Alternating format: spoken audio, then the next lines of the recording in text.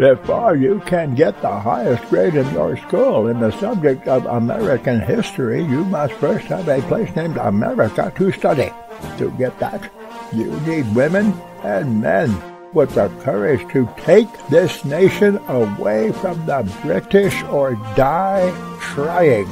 These stories are where American history begins. Today Liberty's Kids. Come on, men. We have to catch whoever's hanging these posters. And if I find so much as one poster, it's jail for the lot of you.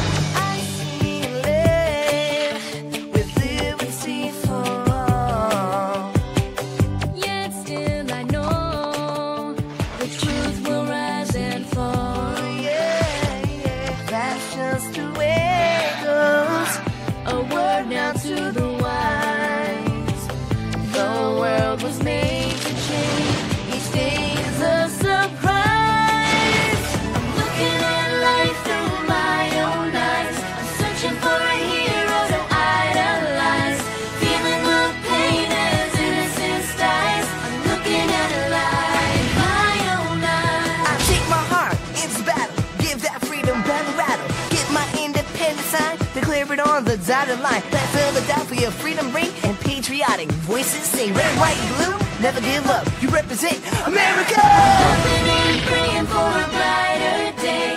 I listen to my heart and I obey. How can I see it any other way? I'm looking at life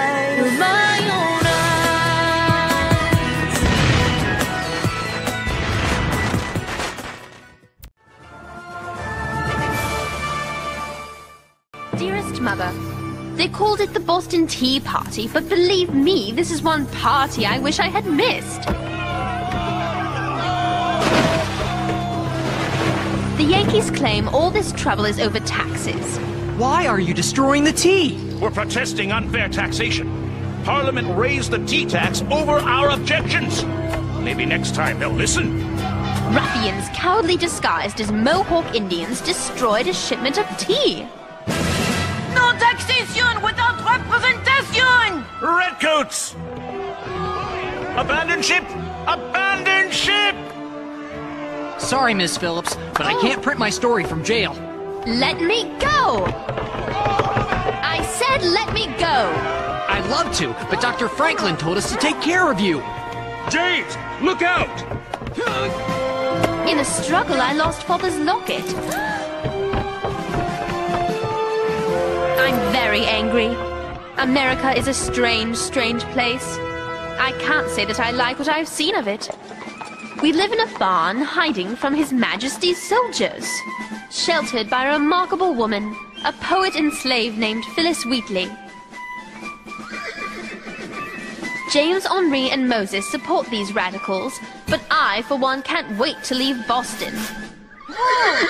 Okay, okay. I'm sorry, Caesar. I won't brush so hard. Hey! Allow me. When is Dr. Franklin coming? Soon, I hope. Very soon. Your loyal, loving daughter, Sarah.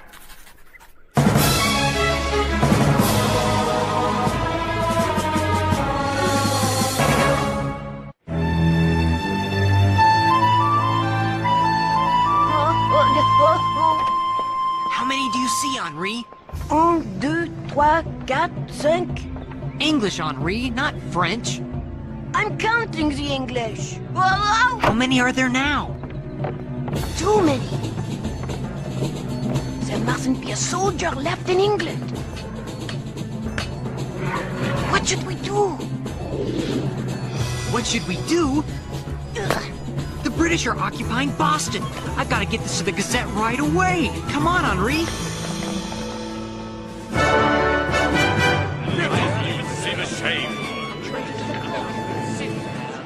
You really think he's a traitor? On the evening of 16 December, the year of our Lord 1773, cowardly bandits, disguised as Indians, attacked the Dartmouth, a ship flying the colors of His Majesty King George III. And who is responsible for inflaming the subjects of Boston to this violence? None other than the man before us, the esteemed Benjamin Franklin. His crimes are enormous. The East India Company lost hundreds of crates of tea worth many thousands of pounds.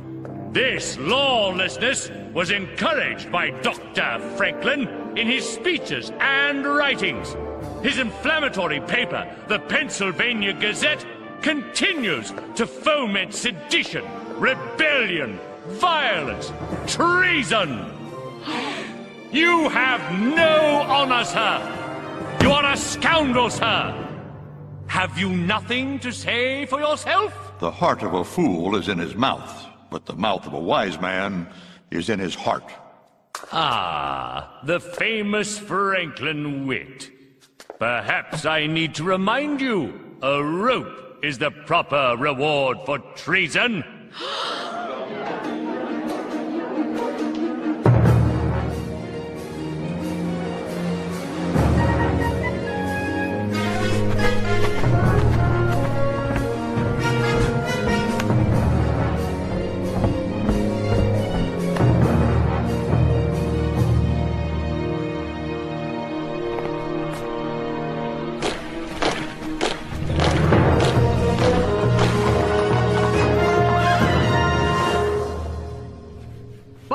Boston Harbor is closed. Hundreds of new soldiers arrived by ship this morning. The whole city is filled with redcoats! Would you please mind your tongue? Where's my pencil? I have a story to write. This is headline news.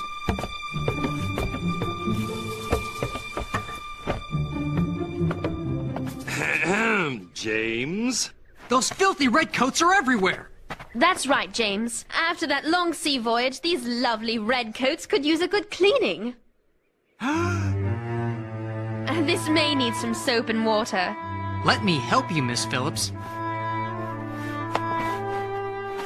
Fine morning, isn't it? Tis you who could use the soap and water in that smart mouth of yours. You're absolutely right. You'll have to forgive my manners. I'm an orphan. I was raised on the streets and sometimes forget my place. Where's that grub we was promised? I'll check on it right away, sir. Why don't you come give me a hand in the kitchen? The kitchen? That's woman's work. H- hey!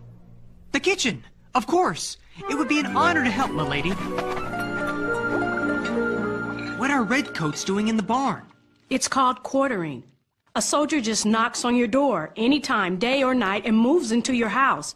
We have five more upstairs. I can't believe King George would allow that. It was Parliament's doing. They call it the Coercive Acts. The intolerable acts would be more like it. This is an outrage. That's right. We have to cook for them, wash their clothes, and they don't have to pay a single shilling. I am outraged too. This pie was too small. You are the funny one, aren't you? How did you come to be in the colonies? I came here with my parents. Henri was six years old when he left France with his parents. They signed an agreement with the ship's captain to work for seven years in exchange for their passage. Three weeks into the journey, the plague hit the ship, and half the people on board died, including Henri's parents. The captain made me his cabin boy. He said I had to pay off my family's passage. Oh, I worked all the time, cleaning his room, getting his food, his clothes, hauling buckets of coal. And if I did anything wrong, he threw me in the hold for hours. How dare he? I belonged to him. You mean he made you A slave. Henri? That's terrible. Thank heaven you're here now. How did you do it? Moses and I went to the dock to pick up parts of a printing press that had come over from France. We went down into the hold to get the parts. There was Henri, on the floor, behind bars. I thought they came to hurt me. But Moses got him out with the handle of the printing press. It was amazing. It was just what needed to be done. But how did you get him off the ship? We found the crate of parts, and Moses took the parts out, hid them under straw, and put Henri in instead. We closed the crate and carried it off the ship. Right under the captain's nose? Right under his nose. But we had to wait another month to find other parts for the printer. I'm still not sure it was a good trade. Then I wrote to Dr. Franklin and asked to have Henri work in the print shop to pay for his room and board. Dr. Franklin said yes, but then he did something very bad. What? He told me I must learn to read and write French and English. The speaking you have, but the reading we have to work on. See? Work on? It work! Speaking of which, I must get back to my work or it will raise suspicion. Lieutenant Brampton was by here earlier talking about the Tea Party and telling Master Wheatley if Boston's going to cause trouble, Boston's going to pay the piper. That only makes sense. Whose side are you on? I didn't know there were sides. We're all the king's subjects. Maybe you're a subject, but I'm a citizen. I have rights. Doesn't Phyllis have rights? You know what your problem is, Miss Phillips? You think too much for a girl. And you talk too much for a gentleman. Phyllis, I need a printing press. I've got to get the word out. James, until Moses can fix the wagon, we're stuck here. The city is swarming with soldiers who would like nothing better than to arrest us for your tea party. Take this, James. Tom Maloney published my poems. I can use his press anytime. Mr. Maloney! Tom Maloney? Open up! We're friends of Phyllis Wheatley! There's no one in there. Today's the Sabbath. The Lord's Day. Well, the Lord helps those who help themselves. Remember? Phyllis gave us the key. Ladies first. At last, a sign of manners. Redcoats! We have to work fast.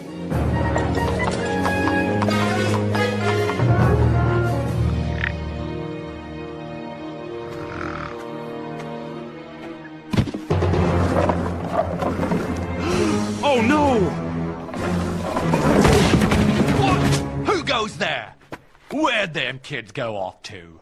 I've been busy doing my chores. I'm sure they're around here somewhere. Nigel? Those little troublemakers have run off. The city is under martial law. They're breaking curfew. We'd better fetch Lieutenant Brampton. Oh no! I've got to warn them.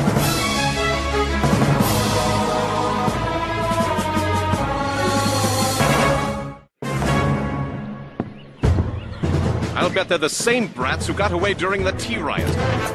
But they won't get away a second time.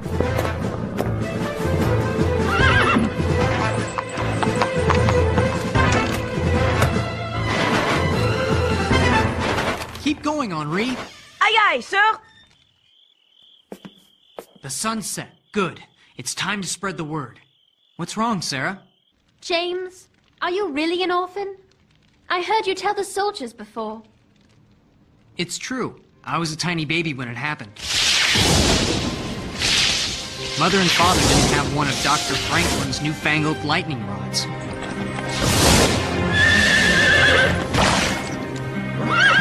Our house was struck and burst into flames. It burned to the ground. I was lucky. A neighbor pulled me out in the nick of time. Dr. Franklin's lightning rod has saved thousands of lives. When I was old enough, I sought him out. He offered to take me in as an apprentice, and I've been working at the Gazette ever since. I'm sorry for complaining about a silly locket, when you've lost so much more. That locket meant a lot, huh? My father gave it to me before he sailed for America. When it was around my neck, it was like having him near me, always. He went up the Ohio River to explore new lands. When he returns, Mother will join us here, but we haven't heard a word from Father in nearly a year. You're worried about him. See this? It's beautiful. It's my mother's ring. So, you see, I know just how you feel about the locket. James, I'm done. Grab a stack, Henri. It's time to go. Must you do this? You'll only make things worse. I have to. Why? Because, as Dr. Franklin's friend Edmund Burke said, an Englishman is the unfittest person on earth to argue another Englishman into slavery. In summary, my lords, Benjamin Franklin, the deputy postmaster of His Majesty's colonies, is a traitor. The proof is in his own words, his own writings.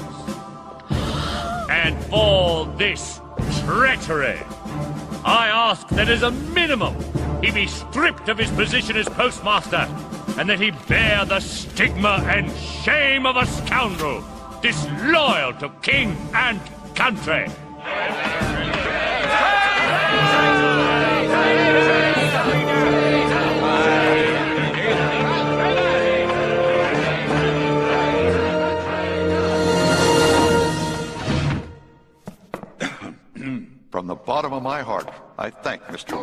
For everything he has said against me.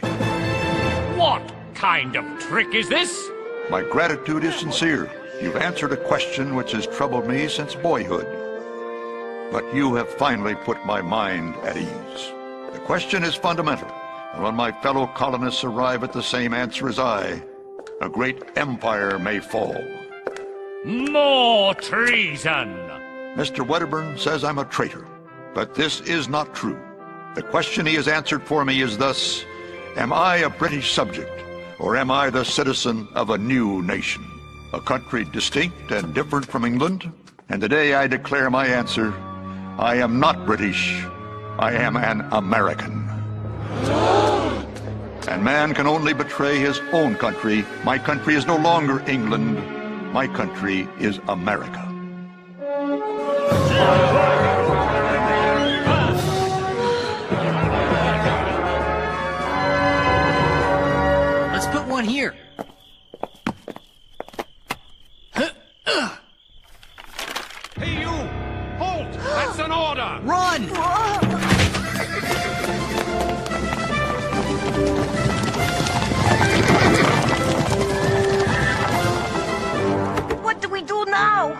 We pray Moses has that axle fixed. Henri, I think we may have overstayed our welcome in Boston. How do we get past those redcoats? Follow me.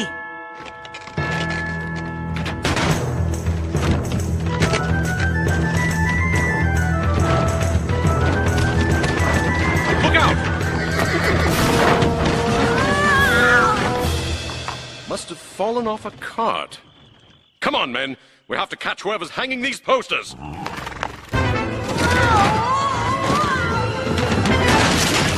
Oh, oh. Are you all right, Henri? Which one of you said that? James, Henri, are you all right? Whoa! Quick! We have to get out of here. Too late. Everybody inside.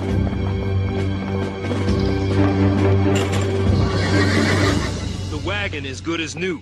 We must leave town right now while it's still dark. So, my men and I are riding past this print shop when I hear voices coming from inside. So I ask myself, what's someone doing in a print shop at this hour on a Sunday?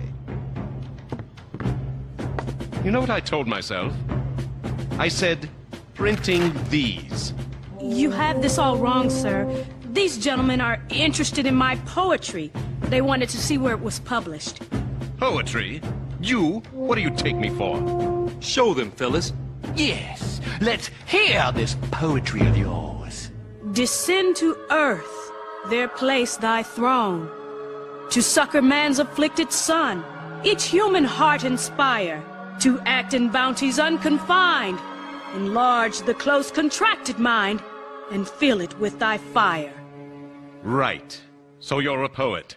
But I still believe these runts have something to do with spreading rebellion, and I aim to find the evidence.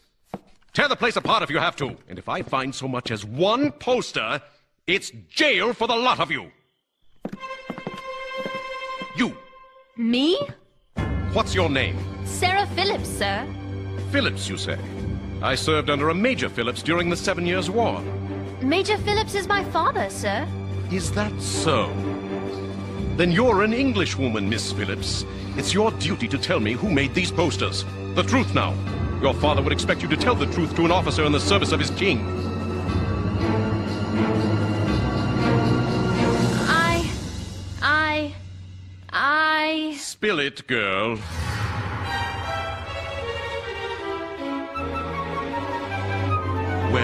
I'm waiting, young lady. Where are my manners? You must be half frozen riding in this cold weather. I'll fix a pot of tea on the Franklin stove. There, the fire is stoked. We'll have hot tea in half a tick. Uh, now what was that you asked me? Something about posters? Nothing, Lieutenant. The place is clean. No sign of them signs. Yeah, I don't have time for this. Come on, men. The rabble rousers are out getting away while we're dilly-dallying with children and poets and tea. Quick, to the wagon, before they come back!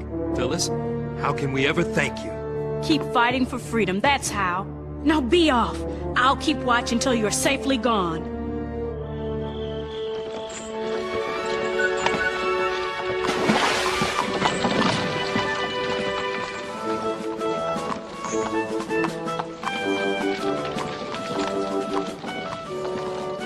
Thank you. For what? You know. I don't know what you're talking about. Sure you do. You saved our hides. James, I'm very tired and I'm cold.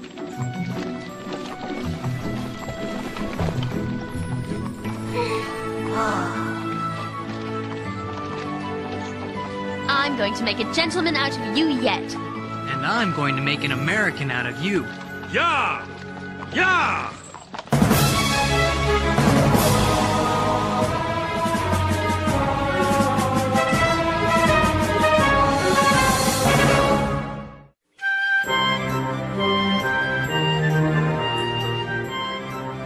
A little more, Moses. Good. That looks great.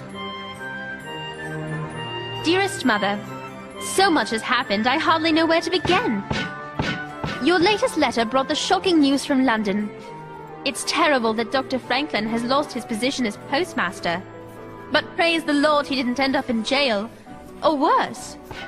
James, cut out that racket! A little more, Moses. Good. Would you please stop that noise? I'm trying to concentrate. Go ahead, James. It's finished. Sarah? What is it? The boys have a little something for you. For me? A thank you for saving us. Here. For me? Moses made it. It was my idea. It's beautiful. You like it? I love it. But where in the world did you get the gold? Are you sure you like it? Your ring. It's the greatest gift I've ever received.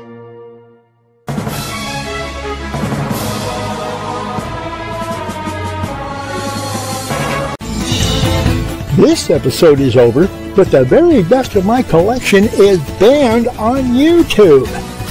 To see what you have been missing, go to archive.org and search for Gyro Screwloose, and I'll see you there.